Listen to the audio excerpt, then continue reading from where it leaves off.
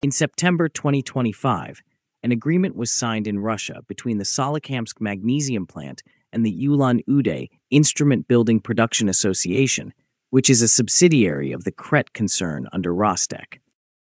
Vladimir Verkhovtsev, Director General of Rosatom Nedra, the managing company for Rosatom's mining division, and Vladimir Lushnikov, Director General of the Ulan Ude Association, both endorsed the official document of strategic partnership.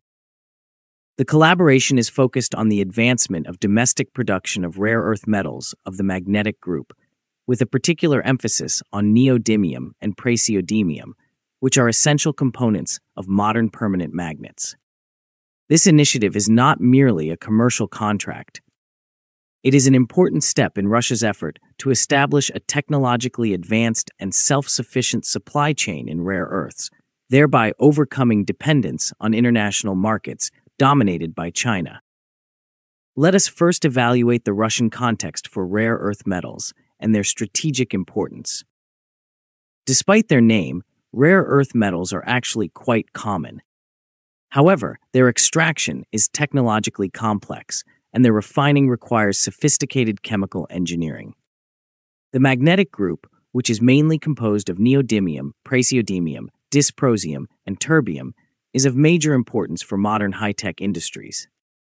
Neodymium iron boron magnets, which are permanent magnets made from neodymium iron and boron alloys, are widely used in electric motors for electric vehicles, renewable energy systems like wind turbines, precision electronics, aviation, defense avionics, and guidance systems. China controls more than 80% of the global market for rare earth extraction, refining, and magnet production.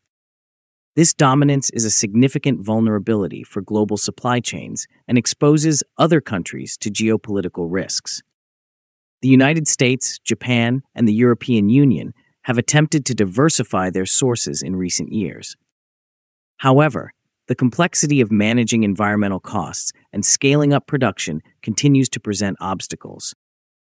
The challenge for Russia, which has large reserves of rare earth minerals in Siberia, the Urals, and the Far East, has been more about industrial organization than resource availability. To date, Russia has depended on imports, including from China, to supply its high tech industries with neodymium and praseodymium. The Solikamsk magnesium plant and Ulan Ude agreement is designed to close this gap by establishing a domestic supply chain covering mining, processing, and supplying rare earths for advanced military and civilian technologies. The Solikamsk magnesium plant, located in Perm Krai, has historically been one of Russia's most significant chemical metallurgy manufacturers. For more than 60 years, it has specialized in magnesium, rare earth compounds, and associated chemical products. The plant has recently been integrated into Rosatom's Mineral Resources Division. This reflects the state corporation's intention to consolidate rare earth metals within its industrial ecosystem, which is built around nuclear technology. The strategy is logical, as nuclear energy and defense require strategic and consistent access to advanced materials, such as high purity metals for magnets, catalysts, and alloys.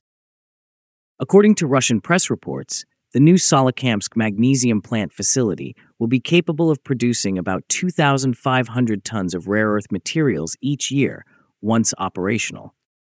This is enough to meet most of the domestic demand for permanent magnets and petrochemical catalysts in Russia. The output secures independence from imports and positions Russia for exports to favorable markets, particularly in the Eurasian Economic Union and BRICS Plus frameworks.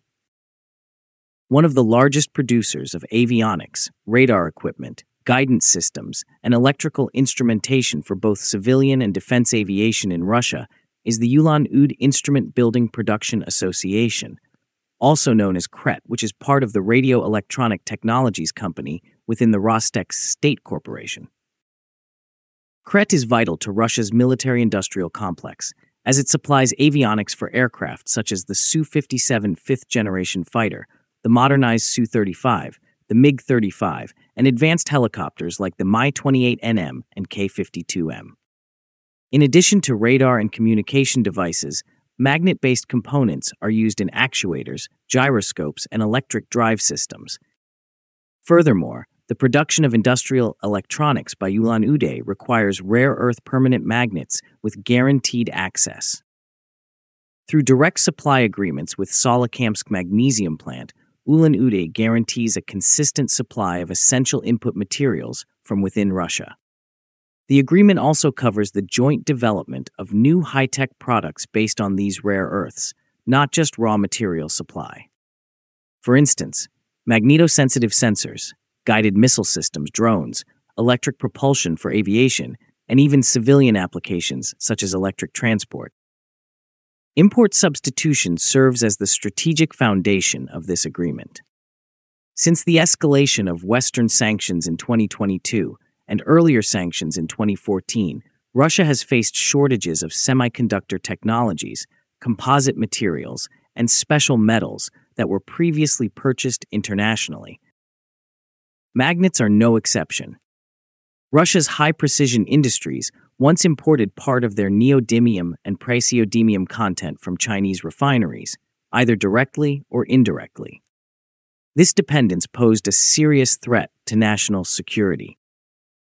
During the signing ceremony, Vladimir Verkhovtsev emphasized that the agreement lays the foundation for an import substituting chain from rare earth metals to magnets to finalized Russian high tech products. In other words, Russia aims to replicate the vertically integrated model that China has mastered for decades. By doing so, it creates a foundation for competitiveness in renewable energy, defense, and aviation while ensuring autonomy. Although this agreement is a significant development in Russia's pursuit of industrial autonomy, the country faces many challenges in its full implementation. The first barrier is technological. Advanced chemical separation processes, such as solvent extraction, are often used in magnet alloy production and rare earth refining. These require extraordinary precision, Despite Russia's technical expertise, it lags behind global leaders like China and Japan, who dominate large scale production of high performance permanent magnets. To bridge this gap, Russia must modernize facilities, establish specialized magnet plants, and invest in focused research. Environmental challenges are another issue. Rare earth ores are often found with thorium and uranium, meaning their extraction and refining can produce toxic and radioactive waste. Proper ecological controls, waste management, and safe long term storage solutions are required. In sensitive regions like the Kola Peninsula and Yakutia, expansion may be limited if these risks are not solved. Russia must balance environmental protection with industrial expansion. Market economics also present difficulties. Despite Russia's progress toward self sufficiency, China still influences global pricing. Chinese suppliers can lower prices to undermine competitors, creating instability. Russia may need state subsidies, guaranteed government procurement, and long term contracts with defense and aerospace firms to stabilize demand and protect its rare earth sector from market fluctuations. Ultimately, success will depend on full industry integration. Russia must build infrastructure to turn neodymium and praseodymium concentrates into finished magnets and alloys. This requires investment in downstream plants for magnet sintering, alloy melting, and component polishing, as well as training specialists. Without such integration, raw production at Solikamsk magnesium plant cannot fully support the aerospace, automotive, and electronics industries. Only coordinated development across mining, metallurgy, and high tech manufacturing can unlock the agreement's full potential. The Solikamsk Ulan Ude alliance reflects a new trend in Russia's industrial policy, reinforcing domestic supply chains in critical sectors like energy, aviation, and microelectronics. It aligns with the government's strategy for the development of the rare earth industry until 2035, which supports exploration, refining, and production. Russia's self sufficiency not only reduces vulnerability to sanctions, but also opens doors for geopolitical partnerships. Cooperation with India, Iran, and African states, along with BRICS initiatives, could create joint enterprises in mining and magnet production. China and Russia have already discussed coordinating rare earth supply strategies to allied economies, potentially countering Western attempts to reduce reliance on Chinese supply chains. In conclusion, the cooperation agreement between Ulan-Ude and the Solikamsk magnesium plant is more than an industrial contract. It is a blueprint for Russia's independence in the rare earth sector and for technological sovereignty. By ensuring annual production of 2,500 tons of neodymium and praseodymium oxides, Russia secures its defense, aviation, and petrochemical sectors while creating potential for export growth. The collaboration fills a key gap in Russia's industrial system by moving from raw mineral extraction to refining and producing advanced magnet materials needed for modern technologies. Despite technological, environmental, and market challenges, Russia is determined to cultivate its own rare earth ecosystem. The partnership of Solikamsk and Ulan Ude shows this resolve. This project demonstrates how sanctions and geopolitical pressures can drive internal industrial alignment. Over time, it could strengthen Russia's domestic position and its global standing as new blocs compete for technological dominance and resources. If you like this video, please like, share, and subscribe. Also, please take our channel membership, which is very affordable, to encourage us